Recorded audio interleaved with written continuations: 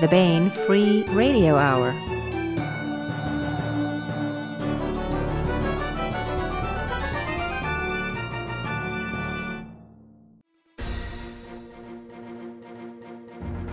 On the podcast, alternate James Bond with a Walther PPK that fires into the fifth dimension. Fortunately, the fifth dimension in that universe is not the popular R&B group, but a nefarious AI intent on enslaving all of humanity. After it marries Napoleon Bonaparte, that AI is going to get the wedding bell blues all right.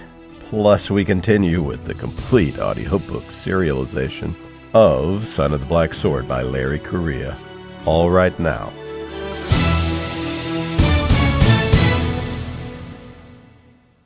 Welcome to the Baen Free Radio Hour podcast. It's an honor to have you along. I'm Baen, Senior Editor Tony Daniel. This time we have Steve White talking about his very interesting new science fiction novel that's also kind of a genre bending alternate history. The book is Her Majesty's American. It's set in an alternate future where America never had her revolution and England never lost her empire. Instead, the British Navy has taken to space, and our hero in the book is Naval Intelligence Officer Commander Robert Rogers. So stay tuned for that. Plus, we continue with the complete audiobook serialization of Larry Correia's great high fantasy novel, Son of the Black Sword. Now, here's the news.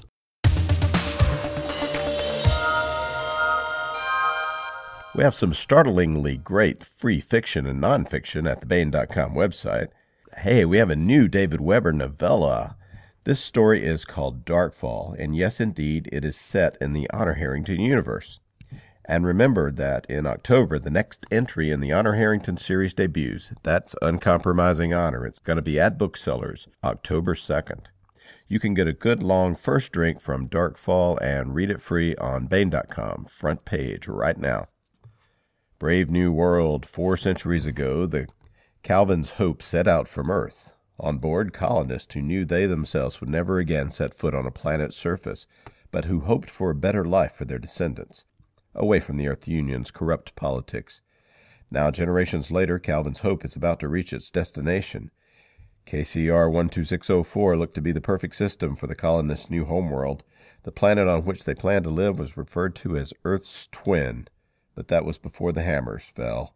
Two asteroids, both larger than the one that drove the dinosaurs to extinction, have rendered the planet uninhabitable. Light years from Earth, and with no hope of turning back, it seems all is lost for the crew of Calvin's Hope. But though all does seem lost, Captain Vincent Anderson and his crew aren't ready to roll over. They've come this far. Now they can make their own luck. Also up at the Baen.com front page is Love in the Time of Interstellar War a new story from multiple award winning writer Brendan DuBois. Brendan is the author of the Dark Victory series, which depicts a desperate fight against alien invasion. The final entry in the series is going to be out in October. That book is Black Triumph. Love in the Time of Interstellar War is set in the same universe as Black Triumph, this gritty struggle against an almost incomprehensible alien menace that has invaded Earth. A decade ago, the alien creepers invaded, laying waste to much of the world and building vast domes from which they continued their assault against humanity. In the process, they destroyed most of the world's electronic capabilities. All satellites and aircraft were rendered useless hunks of metal. The creepers' domes are indestructible save only against a nuclear bomb. Of course, there are plenty of such devices on Earth, but the trick is how to deliver the bomb and detonate it without blowing yourself up. It's a problem, one that Sergeant Walter Hart is about to face head on in this month's free short story.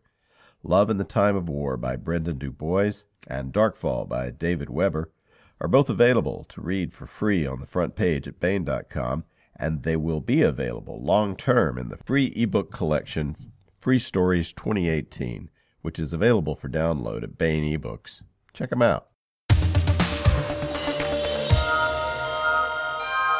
I want to welcome Steve White to the podcast. Hello, Steve. Hi, Tony. Good to be here. Vietnam veteran Steve White is the author of numerous science fiction and fantasy novels, including Wolf Among the Stars, St. Anthony's Fire, and Blood of Heroes. With David Weber, White collaborated on Starfire series novels, including New York Times bestseller The Shiva Option. He continued the Starfire series uh, with co author Charles E. Gannon and others, including the latest entry, Oblivion, which was out this year. He's also the creator of a series of great time travel adventures uh, science fiction novels featuring tough guy and intrepid agent Jason Thanou. That series' latest entry is Gods of Dawn. Now out at booksellers is, is a new science fiction novel in a new sort of universe um, from Steve White. It's called Her Majesty's American. It's an interesting hybrid in that it is science fiction, but it also involves alternate history and an alternate future, even. Uh, Steve, can you explain this this interesting combination of genres that makes Her Majesty's American rather different and, and very interesting? Typically, most alternate history fiction that you read takes place in the present day. The idea being, what would the world be like today if the South had won the Civil War, or if Hitler had won World War II, or whatever? I, however, wanted to do a space adventure, so I'm taking an alternate history that begins with the American Revolution getting patched up and extrapolating it forward into the late 23rd century. Now, in my assumption here is as follows: uh, in actual history, the British Empire w- wasn't sustainable for the simple reason that it got too big relative to its power base, which was one little island. I'm assuming that in this alternate history, the British eventually succeed in incorporating North America and later other colonial areas as well into the power base. So the power base grows to the point where the empire is sustainable, and therefore it's been able to last into the late 23rd century, and in fact has gone interstellar. So where was the what was the break point um, in real history in this alternate future? I firmly believe that in the period right after the repeal of the Stamp Act in 1766, the American Revolution could have been averted on the basis of imperial reform and reorganization. In fact, that was what William Pitt the Elder wanted to do, but his health collapsed. However, for my purposes, I needed to have the revolution patched up in early 1778 after the shooting had already started and the Declaration of Independence had been signed. This is a lot more of a stretch. At a minimum, it would require a more reasonable king than George III. So I played some games here. I went back, and my change point takes place at the time of the Glorious Revolution of 1688, when William of Orange became King William III of England. My change point is that the year after that, William and his wife Mary, who in actual history were childless, produce an heir. now, I admit this is a low probability event, especially given the persistent, though un- unconfirmed, rumors about William's proclivities. However, I indulged myself in this, and so as a result, at the time uh, the, the that the uh, American Rebellion takes place. And as far as that goes, in the 23rd century, the House of Orange is still ruling England. And we have a more reasonable king on the throne. I see. So you sort of you, you set up the possibility of reconciliation. Mm-hmm. Uh, but what about this George Washington fellow in in, in American history, uh, who sort of turned out to be a British hero? In the book. He's looked upon fondly. Yes. Well, in uh, in this alternate history, Washington accepts the rapprochement that is reached in 1778, and in fact, he goes on to lead the Royalist forces to suppress the die-hard rebel holdouts led by Benedict Arnold. So, uh, as a result, he's a hero in the in the expanded British Empire, but considered a villain by the uh, uh, diehard North American separatists, whereas Benedict Arnold is their hero. Uh, as you can see, I'm indulging in a little irony here. Yeah. You even have a, uh, a fellow Virginian a little bit later in the timeline, Robert E. Lee, who who helped preserve the uh, the the empire as well.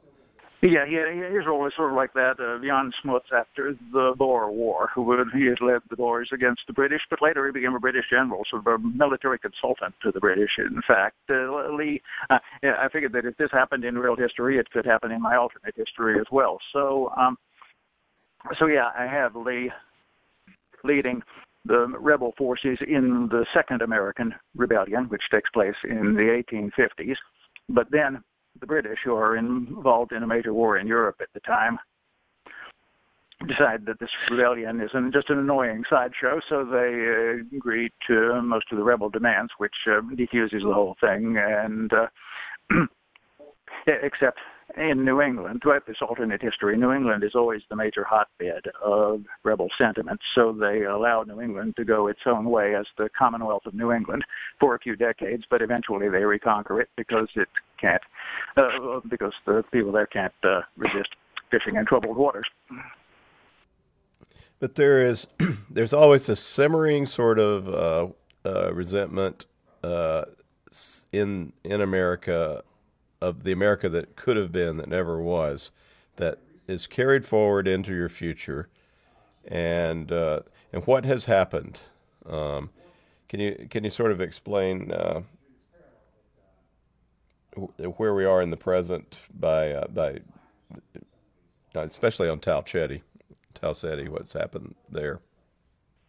Uh, oh, the, um, oh yes. Well, Yes, there was always, as you say, this simmering resentment, at least among a minority, although by the time of this story, most North Americans are totally reconciled to the imperial structure as it exists. However, about 160 years before the time of the story, there was enough of this uh, sentiment left around so that a group of uh, diehard, irreconcilable North American separatists got together to finance a slower than light uh, interstellar colonizing expedition. This was something that had never been tried before. Now, uh, you talk about Todd. now Tau Ceti.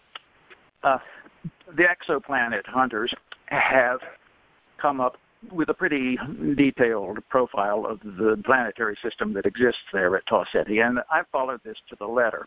The only liberty I've permitted myself is that there's this one particular fairly massive planet. I'm assuming that the high end of the range of possible mass for it is the correct figure, and that this mass is actually accounted for by a double planet system, the lesser of which is habitable.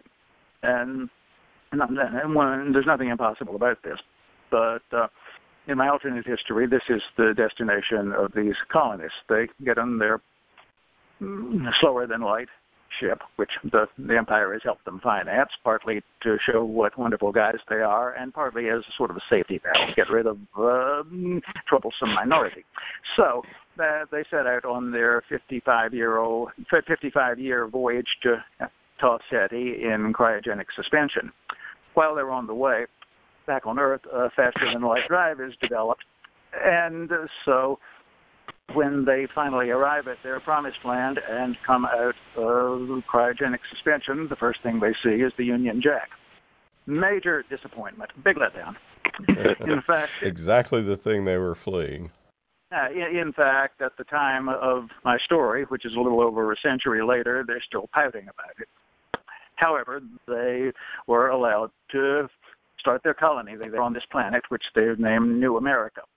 So they're kind of under the, the hegemony or the the, the, um, they're actually ruled by the British, you know, but they, they have set up a uh,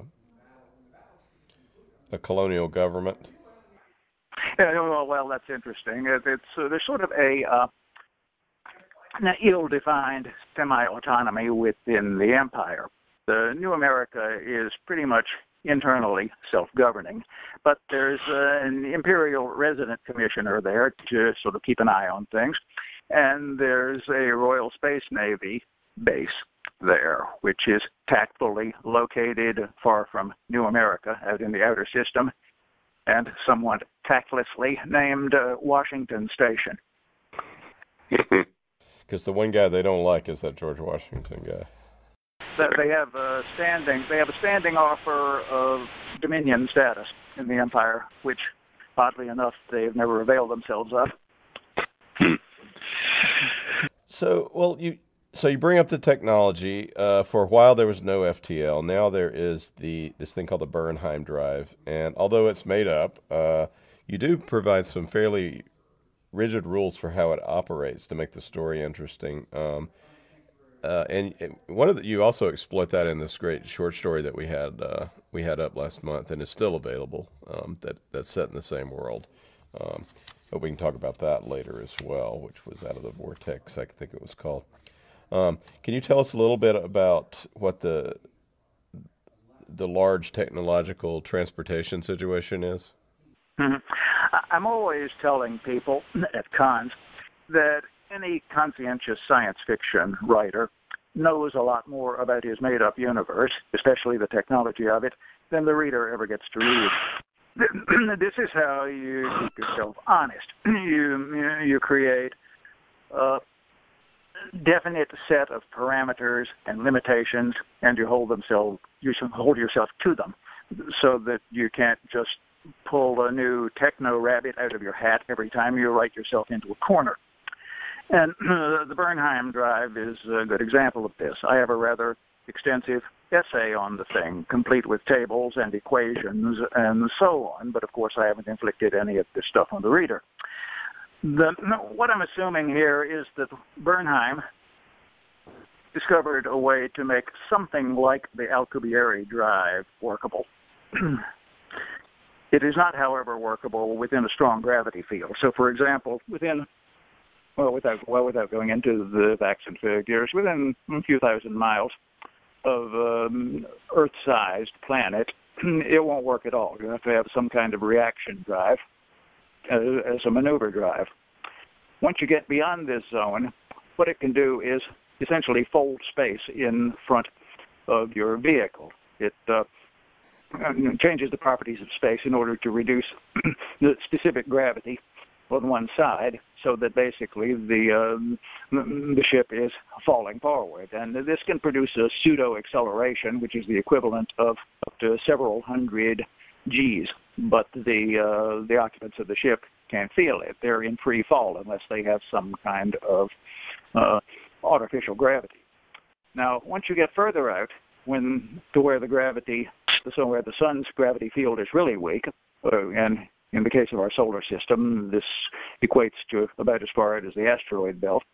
There you can form a warp field around the ship, uh, basically creating sort of a bubble in space-time, which uh, which can propagate faster than light. Now, the ship itself, inside this bubble, isn't breaking the law by traveling faster than light inside this subspace it's created, but the the bubble is moving faster than light. And uh, at the time of my story, the uh, the highest practical pseudo velocity for this is. For a ship that's built for speed is uh, in the vicinity of 2,000 times the speed of light. So, um, so it's practical to get from star to star, but not super easy. And there is no such thing as an inter- instantaneous interstellar radio. That then that would uh, run mm-hmm. counter to the kind of atmosphere I want to create. Yeah, so the fastest way to communicate is also via ship between the stars. Yeah, and uh, and this accounts for the fact of of how. Um, New America settlers stepped out of their ship they ran into the British, who had taken like what nine days to get there. Yeah, well, yeah, with an early Bernheim drive ship, the British could make it to Tau Ceti in a few weeks. So uh, there's some issues with like um, blowing up and such if you if you crank up the warp drive too soon, right? Well, as I said, you have to get out where the the gravity field is very weak in order to safely engage the drive. If you eh, yeah. if you monkey around with this, the drive is liable to suffer major damage. There, there can be there can be structural damage to your ship, in fact, and needless to say, it is as much as a starship captain's career is worth to allow this to happen. Sure, and and this can also become a very good plot device for a science fiction writer. To... Plot device in my earlier short story, A Sudden Stop. Oh, that's right. I'm thinking of A Sudden Stop. Actually, that was the uh, that that scared this. Um, what is uh, what else have they got? They got uh, there's a lot of needle guns that have that fire some nasty little uh, flechette kind of things. Yes, yes. I uh, I've made the admittedly arbitrary assumption that this timeline has tended to lag about a generation behind ours technologically. For example, they don't develop nukes until the 1970s. However, since uh, my story is taking place in the late 23rd century, that's certainly late enough to incorporate all the usual uh, science fiction toolkit. They've got uh, they got uh, X-ray lasers uh, that they can use as a space weapon. They can generate this without having to blow up a fusion bomb, and they have Gauss guns and so forth. Uh, that, uh, that term Gauss guns, by the way, reminds me of something else concerning technology. Uh, as I mentioned in my author's note, thing, uh, things like um, antimatter, they have antimatter power, by the way, and lasers and so forth uh, it's hardly likely that people in a history as different as this would be using the same terms we do. I mean, the term antimatter was first invented, I believe, in the early 1900s, and the laser, of course, didn't come until 1959. And when I'm talking about the distances within the Tau Ceti system, I use the term astronomical units, and that, that I think dates to the late 1800s and so forth. So uh, I could have come up with some kind of mumbo jumbo for all this, but I decided against it. I just used these terms anyway, just for the sake of clarity. Mm-hmm. Right, the Gauss gun. But you came up with a uh, with a good explanation for the for the Gauss gun, right? I mean, because it's the, you had the scientist that that one I can make a case for because he lived in the mid 1700s, and my alternate history doesn't start to radically diverge until a little after his time. So, uh, so that I think I can justify. Pull it in. So, all right. So our main character uh, in the story is Robert Rogers, um, and I seem to recall a Richard Rogers from our American history, and he was he is not well liked. Um, Is this guy related? I think he is. Oh well, no, no, no, no, no, um, no, no. The ancestor I'm thinking of was named Robert Rogers. He was uh, my character. Oh, Robert Rogers. Is, is his namesake, as in addition to being his direct descendant. Now, the Robert Rogers. The the guy from the uh, the French and Indian Wars, who I'm thinking of. I got the first name wrong. Yes, okay. And he was uh, sort of a villain during the Revolution, right?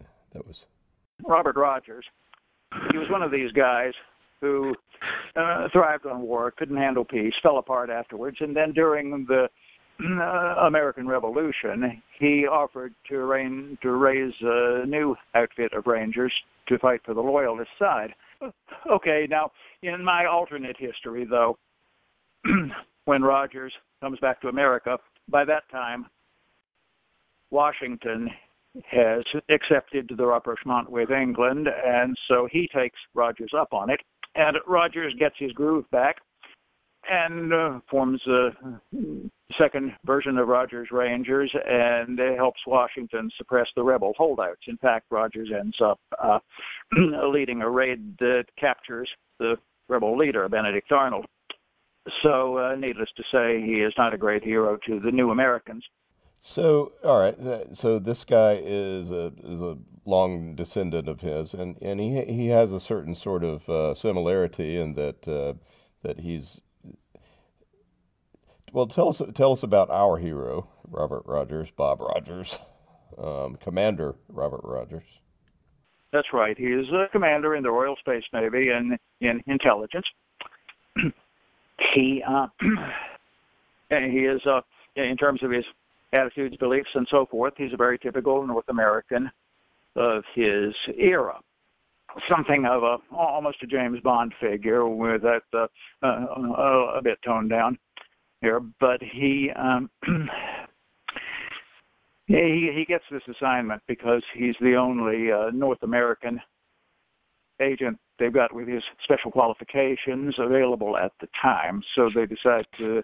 So they think that his uh, background might make him blend a little better on New America, in spite of the name. What what is he doing there? What's he looking for? Why did he get sent there? He got sent there to investigate um, possible skullduggery by the Islamic Caliphate there. We haven't gone into the general political situation that's you know on on Earth at this time. Do you want me to go into that first? Yeah, we should do that. There's um, uh, there is an alternate China and its and its sphere that arose, and there's this this caliphate that is taken to the stars. Right. The uh, yeah the, um, the the British Empire, or uh, to give it its official name in this era, the Britannic Federal Empire, is the strongest power on earth, but it does have rivals. A close second is Greater China, which uh, absorbed Japan some time ago. It's the second most powerful state, and it's not particularly friendly. And then there's then there's the Caliphate. Think ISIS. Here, they're extremely unfriendly they're however they uh, they're also deeply technophobic. Uh, they've had to make adjustments to that in order to be um, competitive, but still, every time the military wants to introduce any sort of innovation, they have to fight the mullahs for it tooth and nail. So this makes them less effective than they might otherwise be. However, they're always trying to stir up trouble among the, the empire's large Muslim minority and the viceroyalty of India. And then and then there's Russia, which still includes Alaska. Uh, they, uh, I have some stuff about this in my historical timeline, which is included in the novel. At, at one time, Alaska was sort of a refuge area for the loser in a Russian succession crisis, but uh, uh, so um, they still have it. And then there's the Spanish Empire, which is still in business. Uh, um, they've eventually gotten their act together by reforming along British lines, and they're on pretty good terms with the British. They, uh, this empire also still includes California. Now, Bismarck's unification of Germany never happened in this timeline. So you've got the, the traditional European states, Prussia, France, Austria, and so forth. They're still around, but they're distinctly second-rate powers.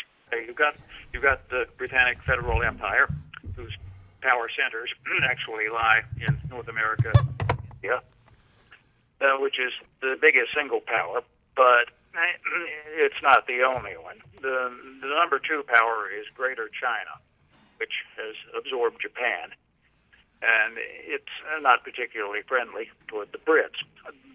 The, the Caliphate, uh, with these people, uh, think ISIS here. They're they're deeply technophobic, but they've had to make adjustments and accommodations to that if they want to be competitive. But still, they're not up to the empire technologically. They do, however, try to stir up trouble among the empire's large Muslim minority in the, in the viceroyalty of India. And then there's Russia, which is of the Bazaars, and it includes Alaska in this uh, timeline. And then there's the Spanish Empire, which over the centuries has gotten its act together by reforming along British lines, and it's uh, on reasonably good terms with the Brits. And it still includes California. Mm-hmm. The, the European states, well, Bismarck's unification of Germany never took place uh, and the, the traditional European states, Prussia, France, Austria, and so forth, still exist, but they're distinctly second-rate powers. Yeah. Now, does the settlement of the stars sort of reflect this reality from Earth? Yes, uh, yeah, yes, it does. There is the, there's an unspoken realization that uh, all out war on Earth, with the technology they've got here, would be totally disastrous. So uh, uh, they play tricks on each other out in the in the galaxy with the antimatter warheads and the nano disassemblers and so forth. The, the the rest of the galaxy is pretty much fair game for these things, but um, but Earth is off limits. what is the the caliphate just wants to expand, um, and that what what's the reason that they might be involved in the Tau Ceti system? This came as a result of um, a tip from uh, the, the Dutch. Now, um, do you want me to go back over that again?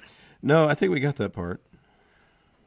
Okay. The, okay. Well, anyway, the point is the the British and the the Dutch Republic, which is still in business in this timeline, are pretty much joined at the hip, and their intelligence services work uh, hand in glove. And the the Dutch also have problems with the caliphate because they too have a large Muslim minority in their Indonesian possessions, and and they've gotten excuse me, they've gotten indications that something is going on in the Tau system, which is uh, rather mysterious because the there are no there is no Muslim population to try to be infiltrated there. Right. So, um, but somebody there's been an alarm. There's some information that's come in. Yeah, yeah. So Rogers is sent to Tau Ceti to follow up on this. Yeah. Okay. So Rogers Rogers, by the way, did we did we mention that he's an American, which is where the title comes from? He's uh, he's Virginian, right? Yeah. Uh, he, he's the reason he's Virginian is because some time ago his family, which originally was from New England, moved there. As I said, uh, New England is sort of traditionally the the hotbed of uh, uh, North American separatism and the both the North American Rebellion started there, and so uh, his his ancestor, the original Robert Rogers, was not particularly popular there. So eventually they moved to Virginia, and uh, so that's where he's from. Uh-huh. And so he goes off to New America on a in, in a quiet manner. Um, arrives, uh, announces himself to the local uh, to the local uh, intelligence operation, which is um, uh, where which is headed by I mean it's not headed, but what the representative he meets is is a woman, uh, Gray Golson, right? Um, who does she work for? She has a pretty complicated series of alliances. She's an agent of the New American Internal Security Agency, which is the uh, an outfit of the of the local government there. As I said earlier, um, New America is very much internally self-governing, and they have their own intelligence agency there, the, NAISA, and uh, he's assigned to be Rogers' liaison officer. And as you pointed out, she has, um, I think the way you put it was a complicated series of alliances. I, I don't want to go into this in detail because I don't want to give too much away, but uh, her relationship with Rogers turns out to be extremely complicated and uh, extremely duplicitous on his side. Basically, he uh, uh, leads her to believe that he has uh, been turned, which in fact he has not. Um, so basically, he's using her. And uh, when this comes to light, uh, the relationship becomes, shall we say, tense. Hmm. Well, uh, tell us in general terms more about this uh, perfidious. Uh, well, it it seems at on the surface perhaps not the Sons of Arnold organization. What's this group up up to? What's it like when Rogers first okay. encounters it? Okay, as I said, um, the uh, uh, New America is internally self-governing, but they've got a um, in, uh, you know, their self-government is conducted under the beady eye of a, an imperial resident commissioner, and they've got the Royal, the Royal Space Navy base there, and the, the Sons of Arnold is a group which advocates total independence from the empire. They're, they're not satisfied with this uh, ill-defined semi-autonomy. Now, the mainstream leadership of the Sons of Arnold is nonviolent. They restrict themselves to mm, propaganda and uh, basically trying to, as we would say, raise people's consciousnesses. they do, however, include uh, an extremist element, uh, especially among the younger members who believe in violent action. And um, one one figure that comes into the uh, the story in that, that there's a faction that's named after him is General Wilson, um, who I I confess I didn't know much about, but you uh, you bring up some of the actual backstory of this this dude into the story. Tell us a bit about that, if you don't mind. James Wilkinson, yes, he Wilkinson, yes, sir. Uh, in in my uh, alternate history, he's uh, he's a subordinate of Arnold's who eventually uh, uh, gets away into French Louisiana, which later becomes part of the British North America. But uh, James Wilkinson, yeah, he, he was another actual historical figure. He, um, he as I as I point out in my author's note, he was without a doubt the most totally consummate scumbag who has ever put on an American uniform. And this guy, he was at the time he was the commanding officer of the United States Army. He was also uh, an agent of Spain.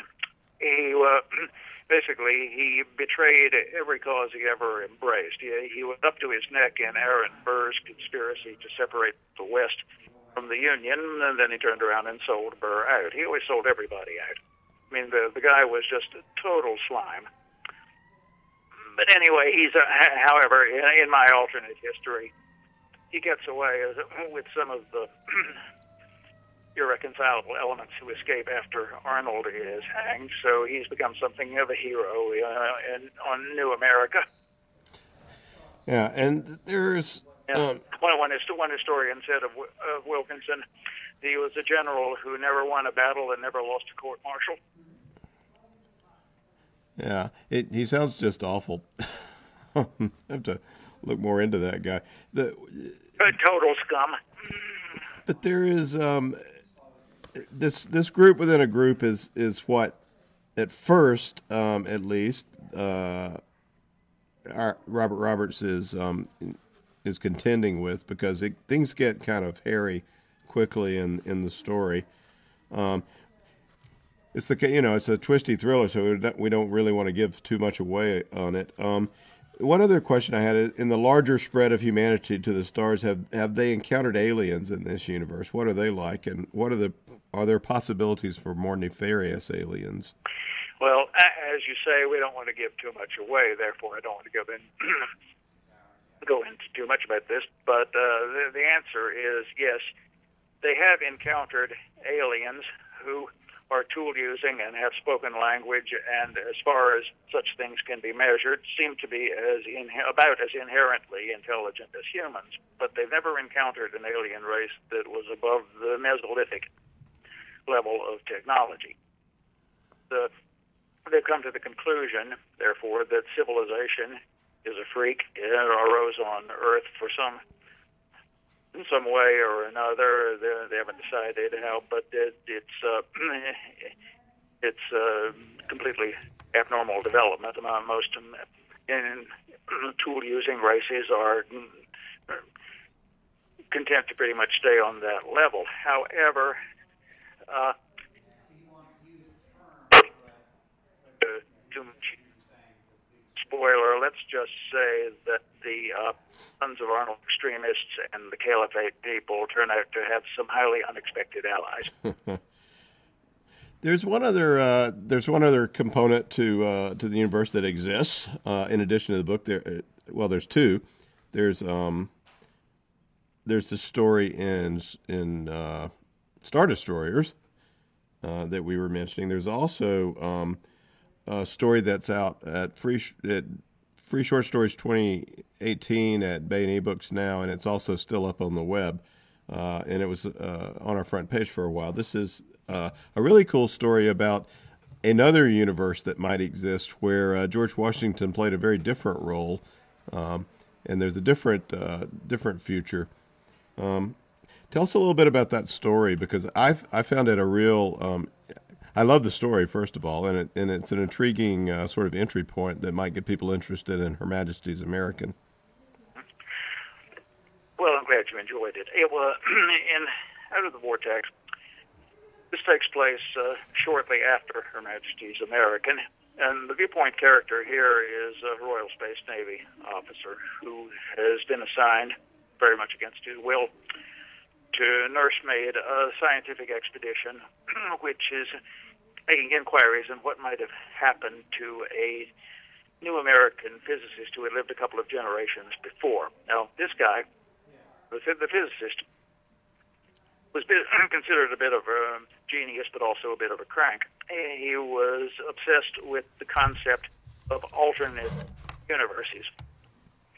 And he was also, uh, without being a member of the Sons of Arnold, he was also an extremely vociferous believer in new American independence and believed that the uh, the solution to the first American rebellion had been a real tragedy, and things would be much better if it had gone the other way. But you know, these two aspects of his personality taken in tandem meant that he was firmly convinced that somewhere there was a universe in which things had turned out right. So uh, he used his considerable inherited fortune to outfit an expedition to go out into the outer system, where he believed he could create a device for accessing alternate realities. But then he was never heard from again. So, uh, in my story, they go out to try to find out what happened to him, and they discover this mysterious vortex and something uh, very uh, some well, some very intriguing things come out of it. One of which is well, that unfortunately uh, a battle takes place. I don't want to go into the details because that would give too much away. But in the end, uh, as a result of a ship blowing up at exactly the wrong place, the vortex disappears. Nothing is left except uh, small bits of wreckage. One of these bits of wreckage is a tail assembly of a space fighter, which has a flag painted on it, which is uh, hauntingly familiar.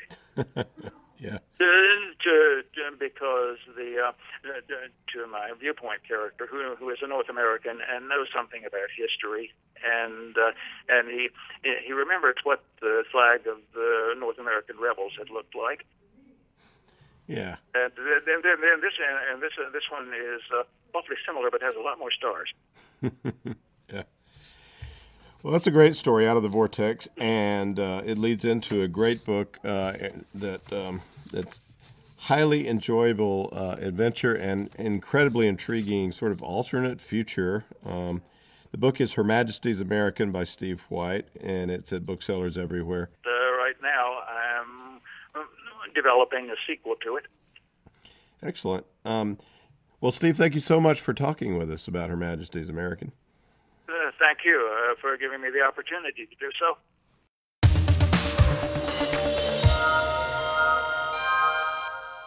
Now we continue with the complete audiobook serialization of Son of the Black Sword by Larry Correia, Book 1 in the saga of the Forgotten Warrior.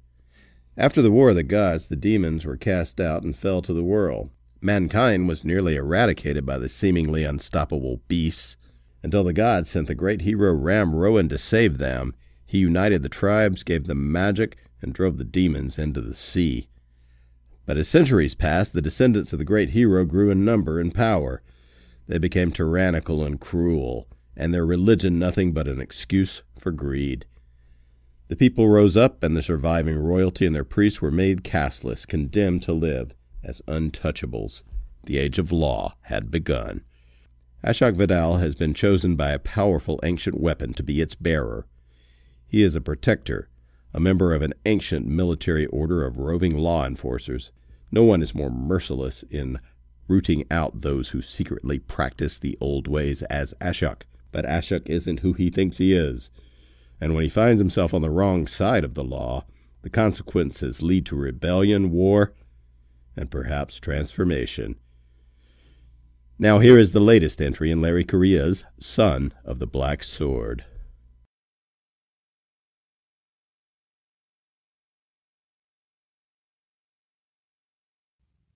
The promotion ceremony was over. Only two acolytes had attained senior status this season, not nearly enough to make up for attrition and their dwindling numbers, but one showed great promise, and far more importantly, the other possessed a sword that could supposedly defeat armies. Mindarin was excited at the prospects. However, Lord Protector Ratul seemed to be in a worse mood than usual. The Hall of the Protectors was a vast stone fortress cut from the mountainside, far too large for their dwindling numbers. Mindarin joined his commander on the balcony overlooking the empty training ground. I've been told that in times past our numbers were so great that our formations took up this whole space when they presented themselves for inspection. Ratul snorted. We used to be so respected that we received so many obligations that we had to turn some away. I can't even imagine. Now we can barely fill one corner with children.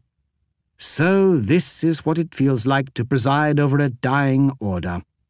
But then, I wonder if it truly has to be that way. The acolytes were gone, allowed a few hours to celebrate some of their number successfully advancing, or to mourn the one who hadn't made it back. It was their choice. Ratul went back to staring off into space, sucking on his teeth, mulling over something. What troubles you? Mindarin asked. The truth. That's an unusually cryptic pronouncement. You saw something strange at the heart, didn't you? Any other acolyte, and I would have cut him down on the spot, but the Order needs that sword. Ratul sighed. Dark times are coming, my friend. Mindarin felt his hopes dashed. Ashok, then. Did you receive a prophecy? Such a thing was rare, but not unheard of when dealing with the heart. Did it show you his future? Ratul spit over the edge and watched it fall. Bah! I'm weary from the journey. That mountain seems taller the older I get. I don't want to talk about it now. It'll be dealt with in time. Good night, Mindarin. He left the rail and began to walk away. Did the heart show you the future? Mindarin called after him. No. Ratul didn't look back. It showed me the past.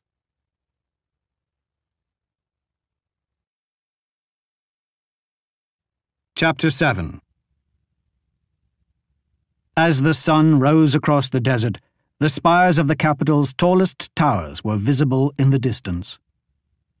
It was the biggest city in Lok. There was no place farther from the sea, and thus purer, than the capital. Kept alive by endless caravans and mighty aqueducts, the city had grown out of this barren region to spite nature. It was the source of the law, the home of the bureaucracy, and the depository of mankind's knowledge. It was in the middle of a desert, in the center of the continent, and though no rivers flowed here, all power did. He had crossed jungles, mountains, plains, and desert, both low and high, over the last few weeks.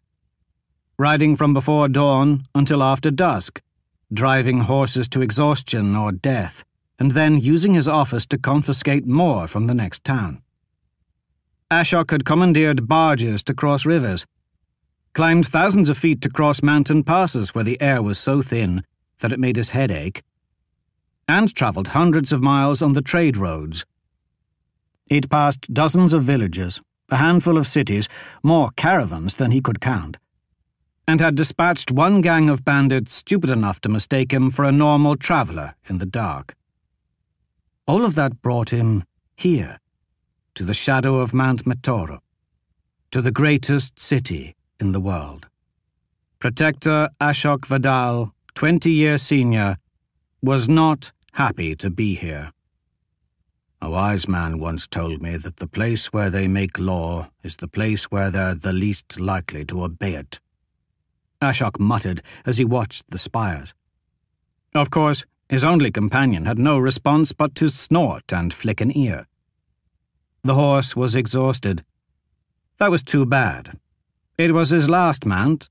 There were still miles to go, and now that the sun was up, they needed to go faster. He thumped the animal with his heels. My apologies, horse. I don't like this place either. The duties of his office had taken him to nearly every city on the continent. Most of them were surrounded by the smelly farms and smoking industries of the workers, with scattered compounds belonging to the warrior caste between them. The slums for the casteless in the least desirable locations, and all of those quarters existed to serve the will of the much smaller governing caste, who usually lived in some form of central castle or palace, separate and aloof. That's how society normally worked for the good and order of mankind. The capital was different from every other city. There were still multitudes of workers who lived here to serve, and legions of warriors to defend it, but this was a city built from the ground up for the comfort of the greatest among men. There were disproportionate numbers of the ruling caste here. Within every caste were numerous subcastes and levels within levels until every man had a place. This was where the greatest among them gathered to conduct their house's affairs. The lowliest bureaucrat still had rank and connections beyond an outsider's dreams. Every home was a palace, and each agency of the bureaucracy required a building that made those palaces look like a castless shack. The horse shifted nervously beneath him as it caught the scent of death on the desert wind. Easy, horse, they have to hang the criminals somewhere. They certainly couldn't do it in town, where the governing caste would have to smell them rot. To the north, separate from the city, high up the side of lonely Mount Metoro, was a familiar fortress.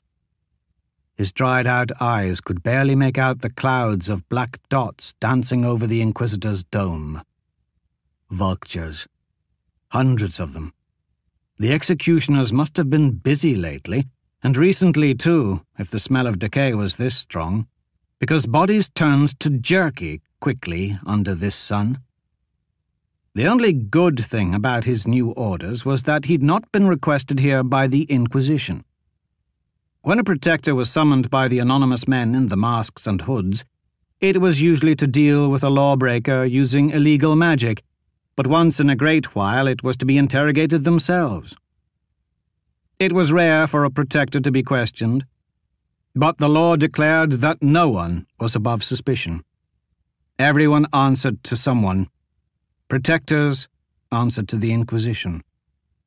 Ashok would submit to their tortures if ordered, but he wouldn't enjoy it. The capital was strange. It belonged to no house, but all houses heeded it. It produced nothing but words, but it was the richest city in the world. All houses had their own form of currency, but the capital issued banknotes which could be traded and honored by all. The houses supplied the capital with resources and people, and in exchange, the capital gave them law. Along the road, Ashok passed dozens of wagons flying the banners of many different houses. He thought about stopping one of the caravans to trade for a fresh horse, but by the time he dealt with all the needless pleasantries, announcements, and workers sucking up, he wouldn't be saving any time.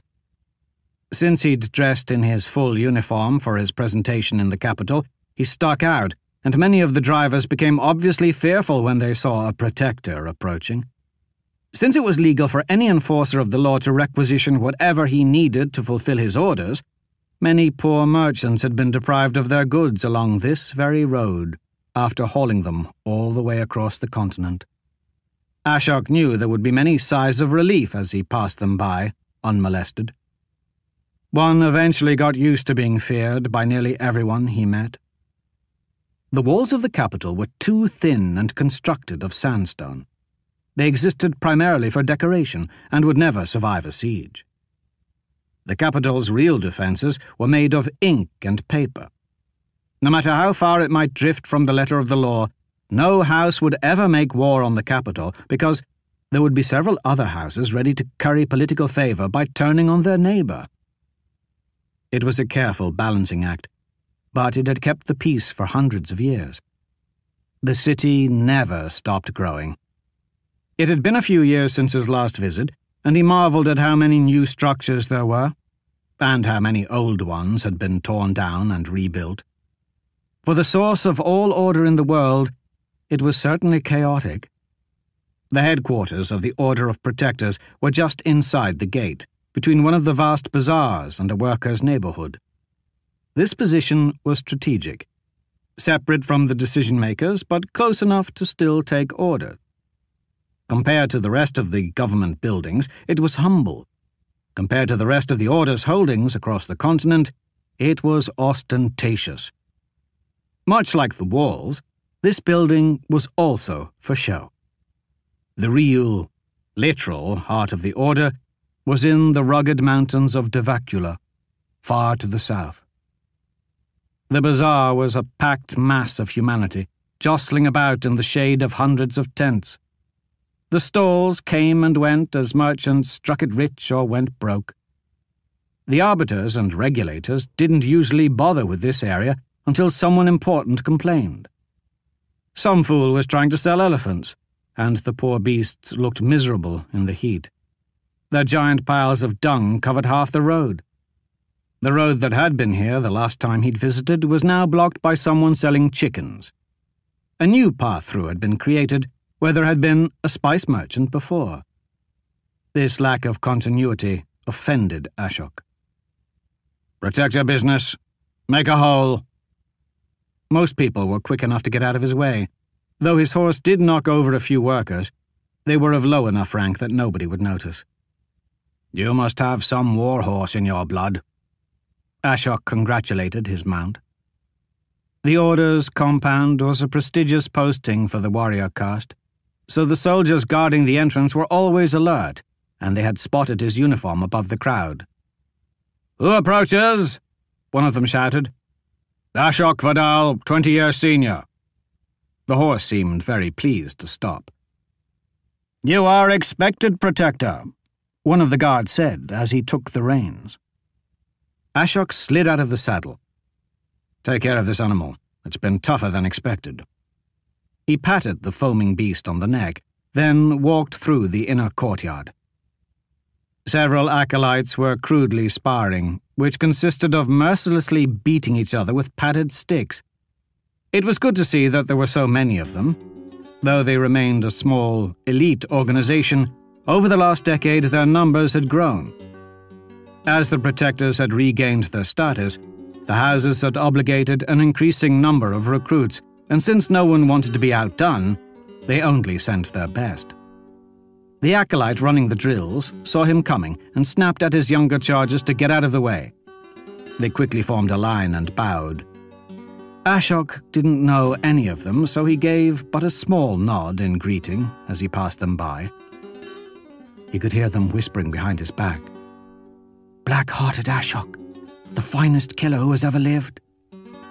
He didn't know them, but they knew of him.